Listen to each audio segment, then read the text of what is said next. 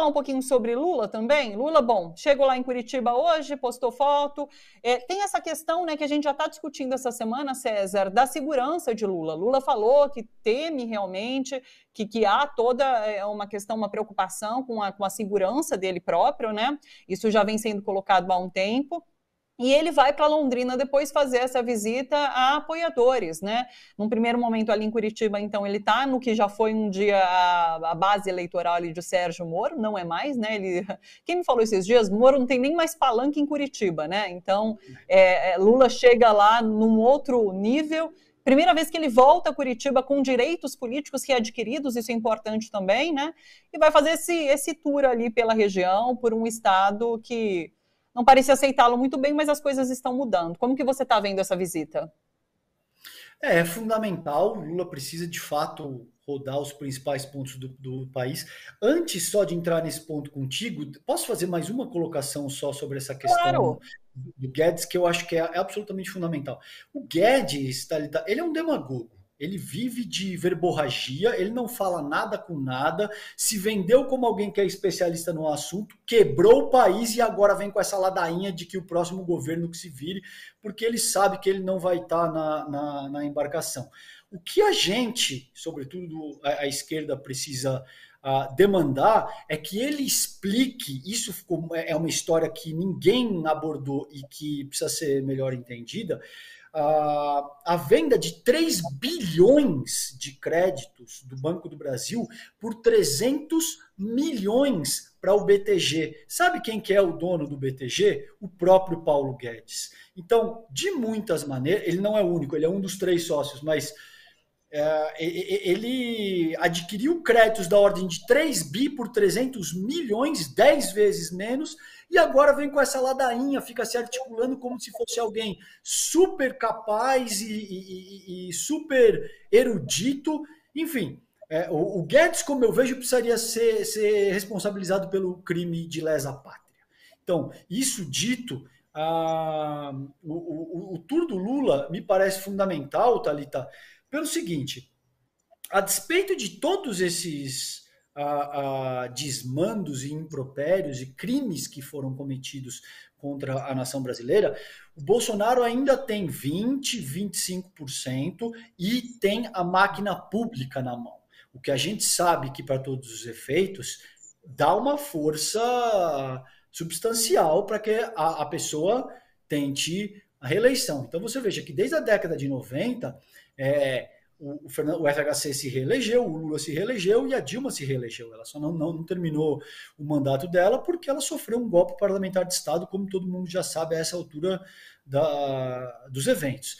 Agora, é, o Bolsonaro ele ainda tem alguma força e ele não pode ser desprezado nessa medida. Nesse sentido, é importantíssimo que o Lula vá a Curitiba, que de, de alguma forma é o berço do lavajatismo. É importantíssimo que o Lula visite outras capitais que foram mais impactadas pelo discurso lavajatista e pelo discurso bolsonarista, porque veja, Thalita, a materialidade está toda do lado do Lula. Entende? Você pode, de muitas maneiras, dizer que não, porque o PT isso, o PT quebrou o Brasil. Veja, como é que o PT quebrou o Brasil? Vamos, vamos ser razoáveis.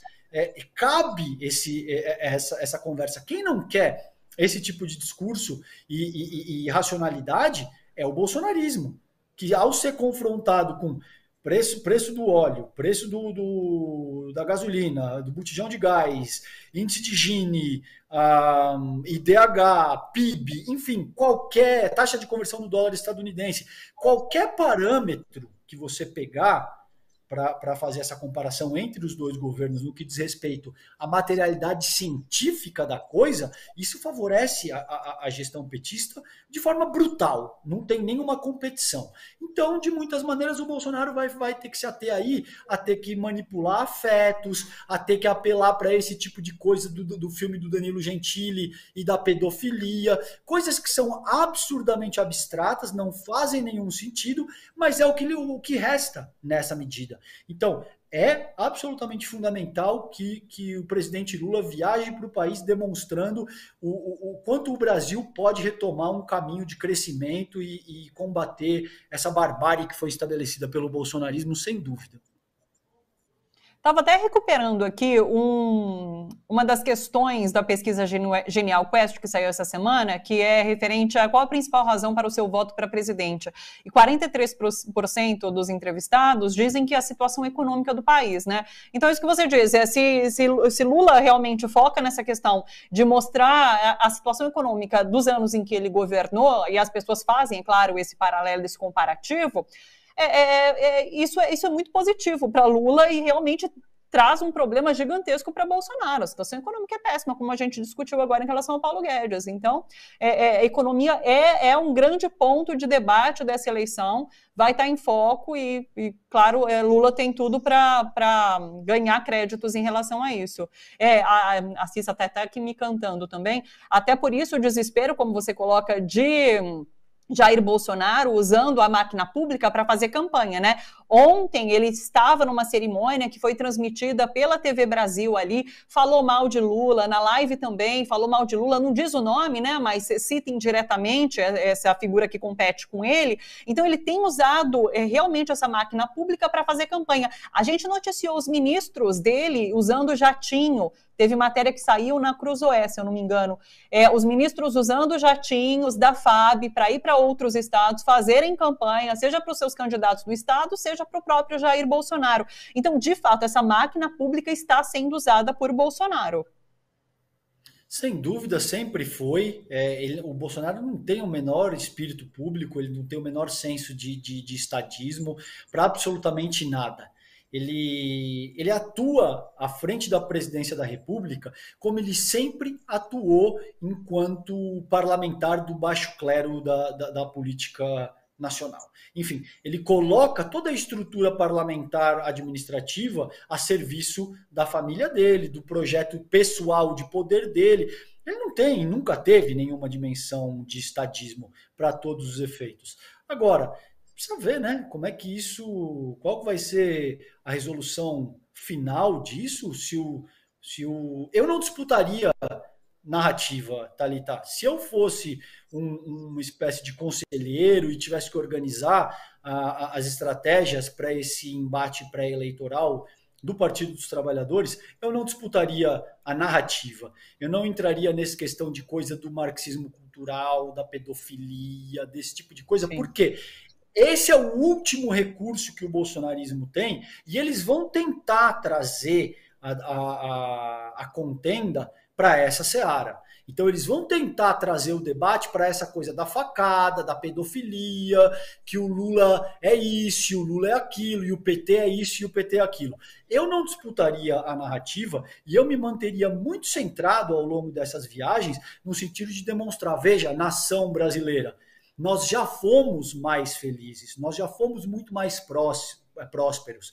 Nós já chegamos aí perto da quinta, perto de ser a quinta maior economia do mundo, com o presidente estadunidense dando tapinha nas costas do presidente brasileiro e dizendo que ele era o político mais popular da Terra. Enfim, utilizar a materialidade histórica para fazer esse embate e não ficar caindo nessa esparrela de ter que combater narrativas fantasiosas que, que em última análise, são o que restam para o próprio bolsonarismo. Perfeito. Quero uma palavra rápida sua sobre Alckmin no PSB. Tá bom, a gente já sabia que ia acontecer, né? A concretização é. dessa filiação e com apontando esse caminho para a chapa realmente Lula e Alckmin, né? Que parece também tá, tá super certa. Me parece que sim, me parece que é inevitável. A gente corre um risco demasiadamente alto para poder se dar o luxo de dizer que uh, o Alckmin não é a melhor figura. Enfim, a, a, essa altura, sem dúvida, é, como eu vejo pelo menos a esse ponto, é a, a melhor opção. Uma chapa Lula e Alckmin torna, como a gente já conversou aqui em outras ocasiões, a própria candidatura do Lula muito mais palatável para a direita liberal, sobretudo para a direita liberal brasileira, e agora o Alckmin vai começar a ser alvo desse tipo de processo persecutório, ativismo judicial, vão aparecer delações premiadas que tentam imputá-lo com uma série de crimes de todas as ordens, enfim. É engraçado que ele passou quase duas décadas aí no governo uh, do maior estado do país e nada disso foi foi sequer apresentado para o escrutínio público. Foi ele anunciar que ele a, aderiria à, à chapa do Lula que é, esse estigma de não, ele é corrupto, ele fez isso, ele fez aquilo, já, já começou, ele já começou a ganhar essa pecha.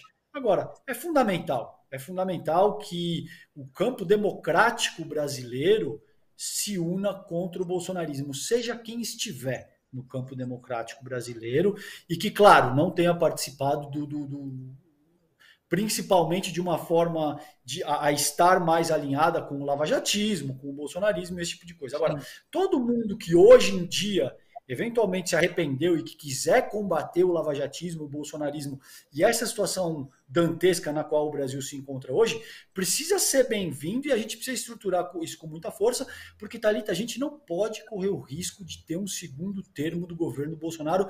O Brasil não aguenta isso. O Brasil, e, e isso vai virar uma terra arrasada de forma sem precedente. Então, nessa medida, me parece que é absolutamente válida essa, essa união entre Lula e Alckmin. Perfeito. Essa frente ampla, né, que a gente também vem conversando já há bastante tempo. É. César, agradeço demais sua participação aqui com a gente. Sempre um prazer te receber, viu? Um bom final de semana para você. Beijo grande e até a próxima. Um beijão, querida. Eu que te agradeço. Um abraço.